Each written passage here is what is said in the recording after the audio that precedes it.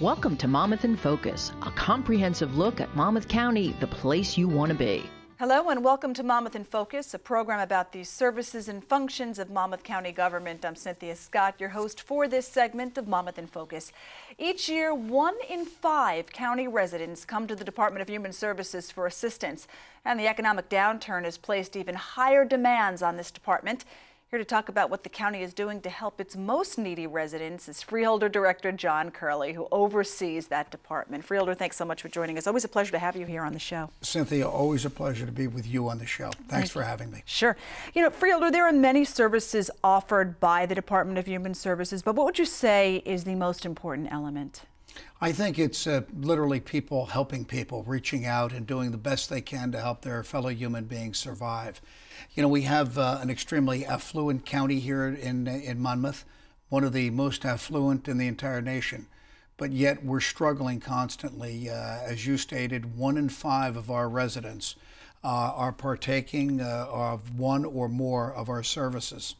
Uh, so it is a unique function we have in a very wealthy county, but even the person next door is affected. Sure. Now, you talk about services. Let's go into specifics. What services does the department offer?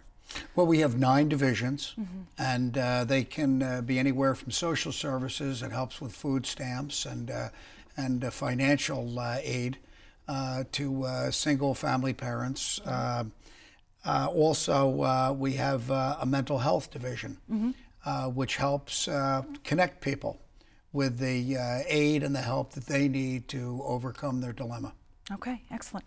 There's also, you know, public housing assistant. We were talking about, you know, we could talk about child support services, family care, general assistance. There's so much, you know, that human services offers that that people don't know about. Um, in February, you declared something rather special, a food stamp emergency in Monmouth County. What prompted that action?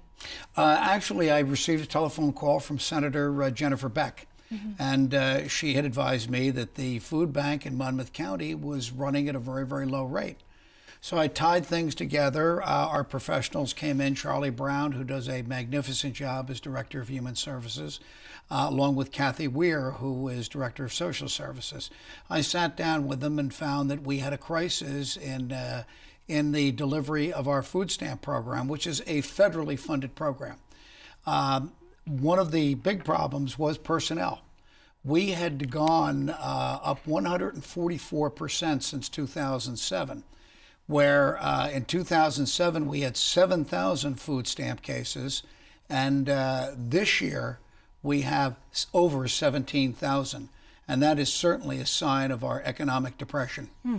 And you know, people who live in Monmouth County, New Jersey, should not be going hungry, obviously. What would you attribute that to? I mean, is it just the, the economy, you know, continuing to be, you know, on the downturn? It certainly is, and it's not an isolated problem, and it's all 21 counties uh, that are affected in New Jersey. Uh, we here in Monmouth County will not stand for that, and that's why I declared an emergency. I immediately went out and uh, put an order in to hire five part time employees. That has been uh, all of uh, my economic program is to hire part time employees, therefore, not having the benefits and the retirement packages, but uh, to answer telephones, to do the clerical work so the professionals that actually do the screening that are, are set up through federal guidelines can do their job. Mm-hmm. Right now, our professionals are scattered in so many different directions.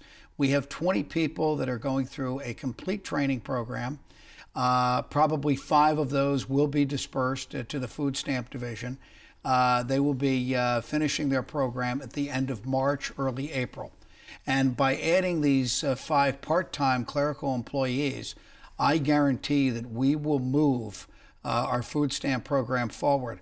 Cynthia, I think it's extremely important that anyone who calls looking for food stamps has an opportunity to talk to another human being and not have to leave a voice uh, message. Mm-hmm. And that's something that has affected my office. We receive constant calls, or had received constant calls, from uh, people who were in desperate need, who left messages, and those telephone calls were, were, not returned. Mm-hmm. Well, I can guarantee you now they will be returned.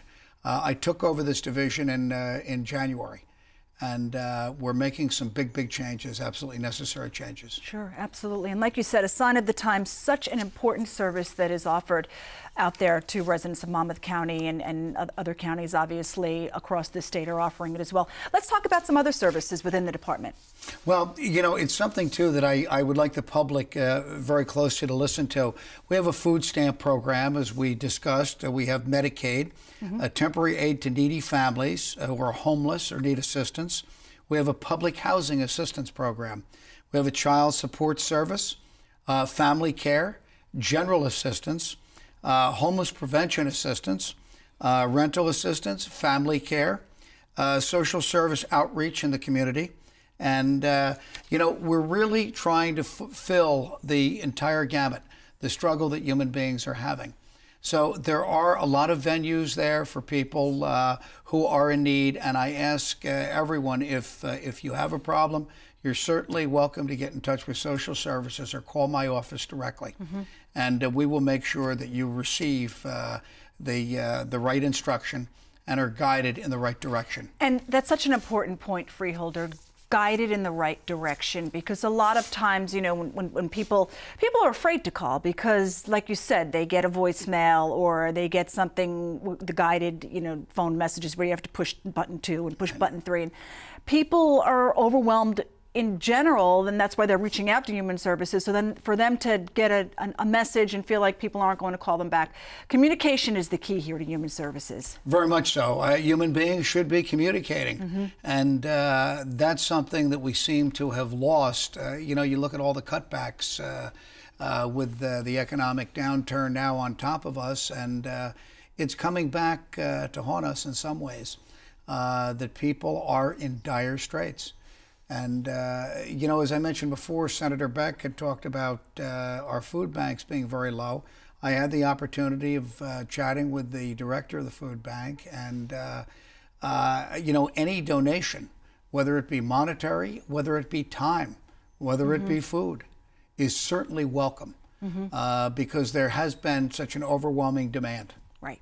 Especially throughout the year when we talk about food banks. I mean, we know Thanksgiving, Christmas time, people drop off the turkeys, people drop off canned goods, you know, anything to really give during that holiday season. But it's so important to give when it's not the holidays. You well, you know, know what's so people... sad, Cynthia? I, I think when we see young children that are affected by it, and and that that's very discerning, uh, obviously, um, that it puts a great deal of pressure on the parents who are unable to provide at this juncture. And, you know, our Economic Development Office is doing everything it possibly can.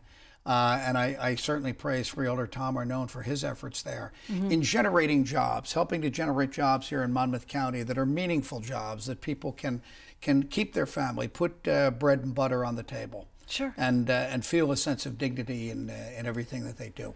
Also, Freeholder, for some people in Monmouth County, mobility is an issue. Getting around Monmouth County is an issue. What are some services that you can offer those people? Well, we have a division of transportation headed by a wonderful director, Kathy Ladata. She's done a fabulous job in uh, in bringing funding in so that we have the finest uh, SCAT program uh, in the state of New Jersey. Um, you know, we get uh, we get our residents to the doctors' offices, to nutrition centers uh, to senior centers. We get them uh, out shopping and we get them to recreational and, and social events. Um, one of the things, too, Cynthia, it's extremely important that we have, we, we have over 300,000 people that participate in, uh, in public transportation here in Monmouth County. Mm. And uh, our SCAT program alone supplies over 100,000 rides. So that's huge because most of these people obviously do not have their own transportation. They do not own cars. Uh, some of them are not able to drive anymore, even if they do. Sure. So this offers a phenomenal uh, way for them to get out, mm-hmm. to get to the public, to get their groceries, and and to remain self-sufficient. And I'm very proud of the job that uh, Kathy Ladata is doing in, in the SCAT program. Excellent. And Freeholder, for those who you know have problems struggling with drugs and alcohol, uh, services there that the Human Services Department provides would be what? Yes, we have many services through uh, drug and alcohol. Our main goal is to come to the realization of who out there needs help And then we have a linkage program. And, and that directs them to the uh, proper uh, personnel mm-hmm. who can aid in any type of addiction. Mm-hmm. There's is nothing in essence that we haven't seen, and uh, I would urge anyone who has a family member or, or they themselves who need that help to uh, contact Human Services or, again, my office, and we will do everything that we possibly can do. Obviously, these services come along with a price tag. Um, how big is the budget, and, and, and how do you basically fund that budget? Well, we're talking about uh, a $95.5 million budget. You know, we get a great deal of money in from the federal government, uh, mm-hmm. from the state government. Uh, the county also puts its share in. Uh, it is a, uh, you know, a, a very, very difficult area. I've had some people that have actually complained to me in my office that you know we're supplying uh, food stamps, which is again I emphasize a federally funded program. I've had maybe two or three calls, and I always welcome those calls because I love to challenge uh, anyone who feels the ignorance of denying a human being food. Mm-hmm. But uh, it is a large budget. It's the largest department in the county, but it is well run. And I can guarantee you, with myself at the helm being a businessman, that uh, we're going to deliver those services. We're going to deliver what charity care is necessary at, uh, at the lowest possible cost. And Freeholder, we certainly want to mention where people can apply for those services um, and where the public can, can contact what the primary phone number there is. And it's uh, 732 308 3770. For a complete directory of the department's divisions, correct? That's absolutely correct. Mm-hmm. Of course, uh, we have our Human Services building right mm-hmm. on Kozloski Road in absolutely. Freehold. And we just and, had the uh, website up as well. Visit monmouth.com for more information, good. too. Uh, Freeholder, you know, you said that you took over the the uh, department obviously in January. So I mean, this might be tough to answer, but from what you've heard, just because of the economic times that we're in, have you seen a real increase of, of calls and people coming and asking for help as a result? Yes, absolutely. My office has been inundated with telephone calls and emails, particularly telephone calls. People, people who have literally given to food banks mm-hmm. in, in previous times, and now they're in need. They need help. Yeah. So it absolutely touches everyone. You know, the other thing too about human services is our adjuster's office. Our adjuster's office uh, uh, has a very meaningful job. Mm-hmm. They they represent uh, the child welfare in the county when uh, when we go to court for child custody. Uh, the Monmouth County Adjuster's Office, uh, our new adjuster Bill Bucko. goes to court and represents to make sure that you know the proper the proper direction for these right. children is given. Okay. And, uh, you know, what parent uh, they end up uh, living with and how they're guided. Also, the uh, adjuster's office deals with investigation of, uh, of firearms okay. for uh, firearms licensing.